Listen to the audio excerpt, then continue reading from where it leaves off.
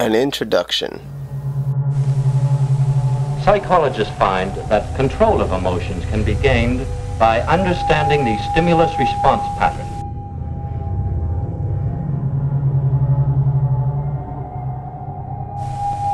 When you have certain experiences, you respond with various emotions.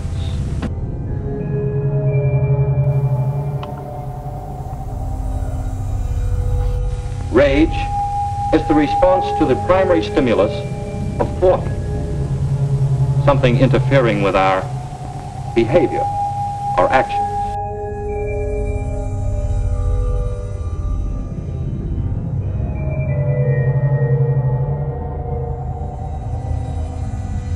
Fear is the response to loud noises or loss of support. It is the measure of any society how it treats its most vulnerable. You might think dingy institutions, people locked away in inhumane conditions from birth until death, would be a relic of the past. They're not gone. And it's sad to say, they haven't come a long way either. The year was 1925. The place, a little town right outside of Baltimore, Maryland. Back at the opening of Forest Haven Asylum, the place was given many positive reviews. Of course, they say a lot of these came from staff inside of the building and faculty as well. Upon its closing in October of 1991, many people stepped forward with stories of abuse and pain from inside the walls of Forest Haven. Like many asylums at the time, due to this circumstance and belief around them, a lot of things were to be kept inside the building as how the patients were treated and many other things due to laws conflicting. For example, it's illegal for you to just go into a place without a permit and be able to go and take pictures of what happens in an asylum because of the patient's right to not be documented. While that's fair, for many years, asylums were able to use this to their advantage to not let anyone in. Even without a permit or with a permit, you could not get in. Stories of extreme neglect for patients as well as very poor living conditions arise, such as people being so hungry they were driven to eat their own feces, while doctors didn't even pay attention and instead just watched TV while the patients went about these terrible things. To understand this better, we need to dive into how the public viewed mental health back in the early 50s, the 20s, and everywhere prior to modern medicine and modern thought to understand really how people were treated and how the pain would affect them. You see, back in the 50s, PSAs seemed to be all the rise. There was a PSA on almost anything you could imagine from how to undress in front of your husband to, you guessed it, mental health awareness PSAs. And the most that they covered the topics of were very basic things and really didn't describe disorders or probably even know what disorders were. Because of that, all people knew to look out for was strange behavior and people being too emotional sometimes.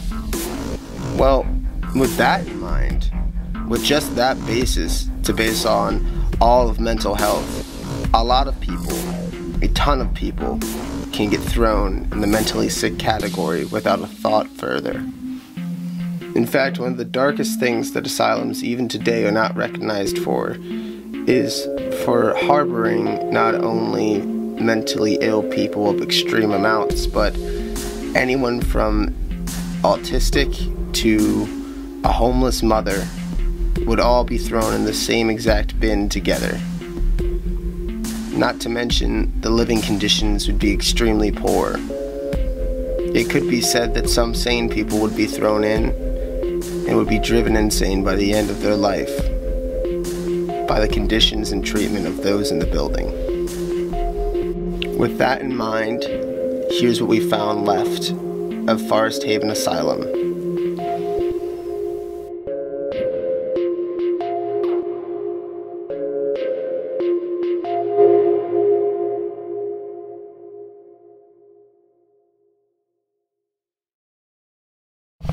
So here we are on the first floor. We're alone. Josh and Pat are upstairs. This is just the first building. Looking for a lot of stuff here. Right now it's just a lot of wreckage, but there's a lot of stuff left. Hallway's pretty dark. Oh, look. Control panel. Would you look at that? It's pretty cool. Look at it. Very old. Very cool though. Looks like this was the generator for the elevator. Let's see what else we can find. What is this? Danger, harmful, inflammable. It looks like nail polish or something. Look, a hospital. Oh shit. Boys and girls, I think we just found the morgue. This is where they would store the bodies. I've never actually been able to find one of these. Many asylums never found the morgue. It's very small. I'm guessing this must have been like a really, really, really like temporary holding area for them. Let's see what else we find. Just heard some noises. But there's people around, but I think they left. We're on the second floor now.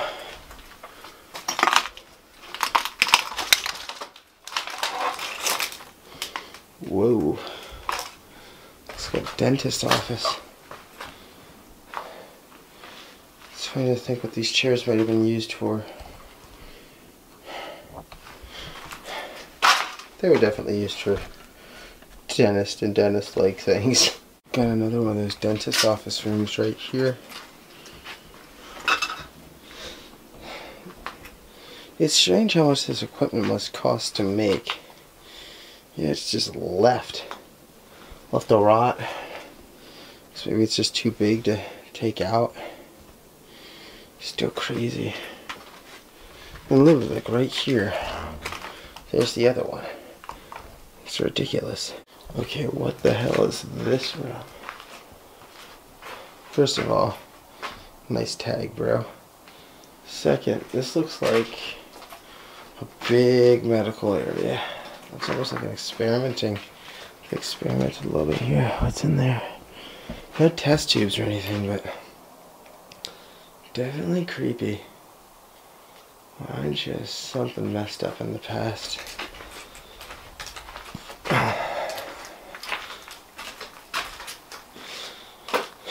Very strange. I spoke too soon. Found a bunch of bottles on the ground. Ran into. Say hello. Or just stare at the camera completely and absolutely creepy. Thank you. That is not the goddamn smallest bathroom you've ever seen in your life. Oh, there's a fucking coffee maker? What the hell? Oh, the floor's not too good in here. That old can of Pepsi though. Now heading over here, we end up leaving that building because there's so many people that just showed up out of nowhere. So we're Yeah, gonna head over that. here and check out the rest of the complex. Oh my god, look at that. Over there. Let's go over there first. Over there first? There's also a church over there. Is there really? Mhm. There's a church over there. Well, damn, these things are like wrecked to hell. Hold on, wait. Isn't that that basketball court over there? Or is that the church? It's a church. Fair enough. Yeah, we'll Yeah, come back really to this. shreds now that you're church. Um, I think we should go to the church. Oh, still. Of course, wait. Uh, we'll come back. Let's just go. But first, we should wait for Patrick. Yes. Would you look at that? Pretty good find.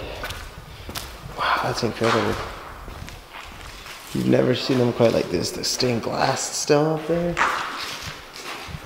That's where the altar would be. That's crazy. Found another piano. Question is, one key works. That's uh, That is crazy, man.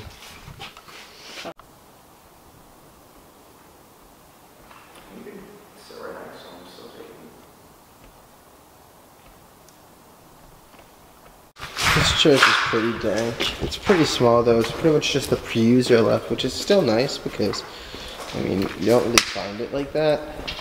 Only time I've ever found pews, they were even a little bit destroyed. But for some reason, people usually leave pews alone. Oh shit, cars. And this thing glass is still here too. It's pretty cool. Let's see if we can see these cars. Right over there.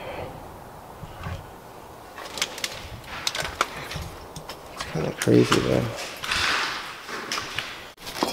What building you guys want to do next? Um,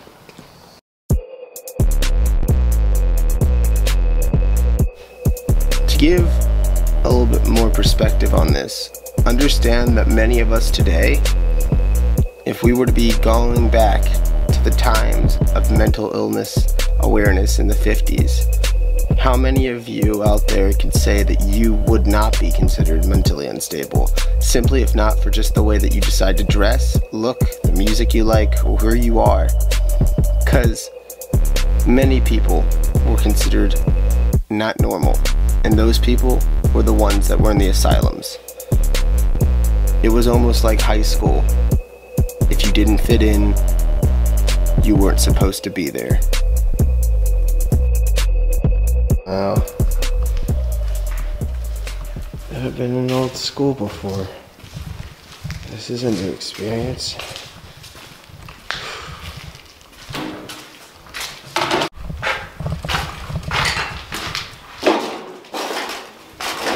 Hopefully there's something cool over here. Be pretty nice. No, it's pretty vacant. A giant foam block. Still really crazy to be in a school like this. I've never been in a one before. It's kind of nice. I think Josh found like a cool desk setup on the other side. I'm gonna go check that out now. stuff out. Dude.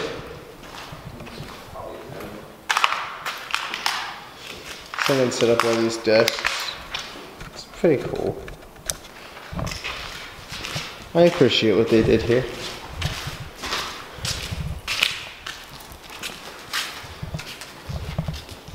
What'd you find?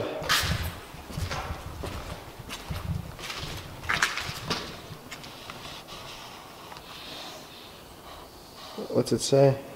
Split off on my own for a few minutes while the guys finish up the other building. I'm gonna get started over here.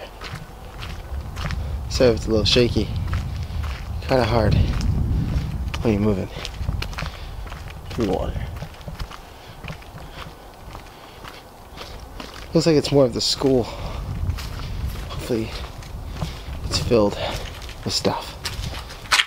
Alright. Inside. Oh boy. All the documents. Pod timeout log.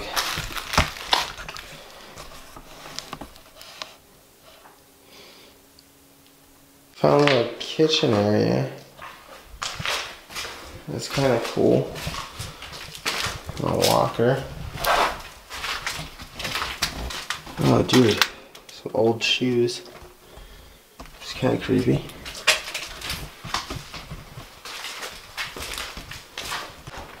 Wonder what's in this room. More Christmas stuff, huh? It seems like every single asylum I've ever been into at some point I've seen Christmas stuff. And the thing that gets me about that is I feel like all these places close right around the holiday season. And that's why you see so much of it. But we're gonna go down here now. Why is there so much Christmas stuff though? It's weird. I found I found a, a thing. Oh, look, it's like a bunch of couches. I found a thing for people that have been in timeout. It was the, it was like the bad times list or something.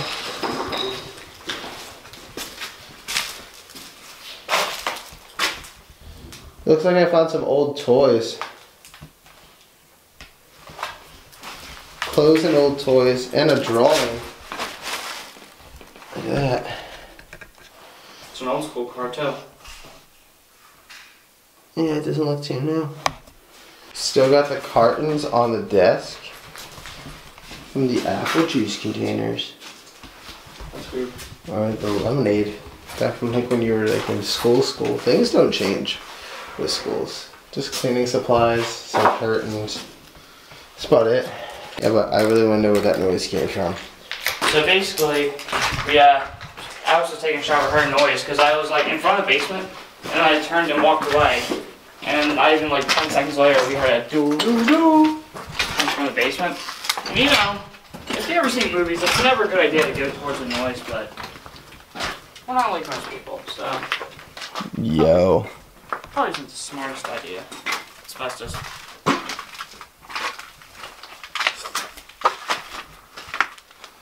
Jackets on the rack. Flannels. I understand what you're saying. Just saying, like, it doesn't make sense for this to be here inside of this kid's school. Like, uh, done. I mean, I guess you forget that it's an asylum still, but yeah, that's like an interrogation room in the middle of nowhere. It's weird. Huh? What's over here? You got that. Wonder what else is down here.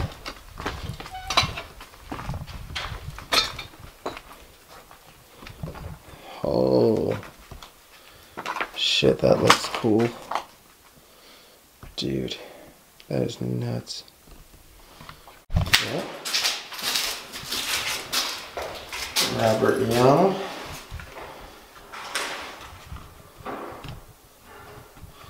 Then we got Arnold Anthony. Me turn on the light so you can see. Anthony. Can't even read that.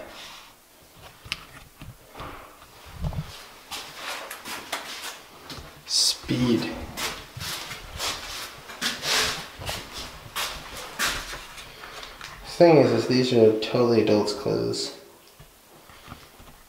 not kids' clothes. If you want to get in. What is it? It looks like a fort. It's real big. That's what I, that's what I was thinking. Just check out what we found. I found where they take out ice bath. Tambourine. All these chairs. Should through. Yeah, gee, there's a lot here.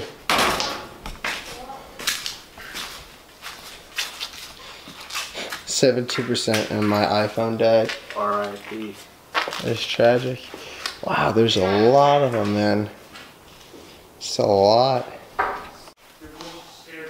Just found a place where they take all their baths and help out with bathing people. Pretty crazy. This uh goes a lot bigger than you think. Really? Yeah, follow. Keep going. Oh, oh shoot. behind you. Dude, hold on. That is crazy creepy. You You know what's hear that rain? It's like rain coming down. You know what's even weird? Look at my eyes. I know. It's weird and demented. More of this than I expected. Old computer. Oh, I love seeing these.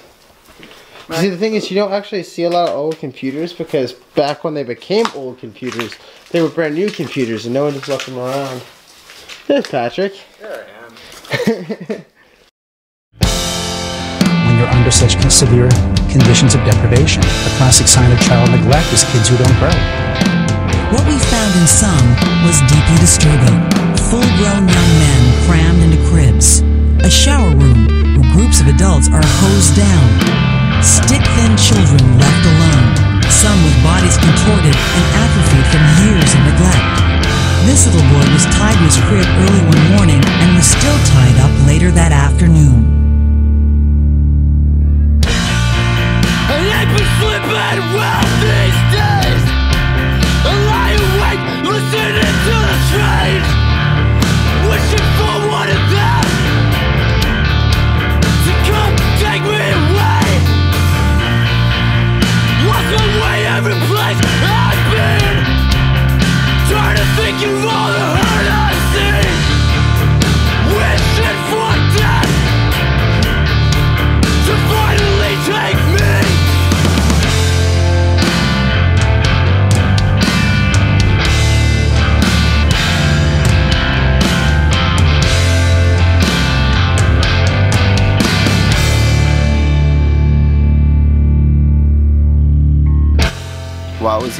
easy to keep everyone so quiet, when it was over, the pain was realized. Since then, many asylums have had to close their doors. This wouldn't be the first or the last to have done this exact thing. But remember, these people can be helped. Sometimes professional help is needed, but very often it's the sympathetic understanding of the people around them that makes the big difference. Nowadays, we're all the same. On the corners, I blow my lungs out. For